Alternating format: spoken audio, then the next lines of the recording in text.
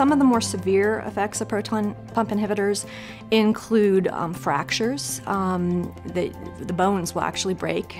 Some of the other severe effects of proton pump inhibitors include kidney damage and kidney disease, um, which can have very serious consequences. One of the more interesting ones is that the proton pump inhibitors appear to affect the levels of, of obviously, they affect the levels of acid in the stomach.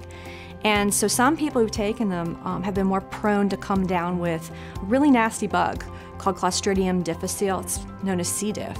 And um, it's a very virulent um, pathogen. This, this bug, if you get it, it's a bacteria, can make you very sick, um, severe diarrhea, um, abdominal pain. It's extremely hard to treat, um, very serious. Some people actually do die from C. diff.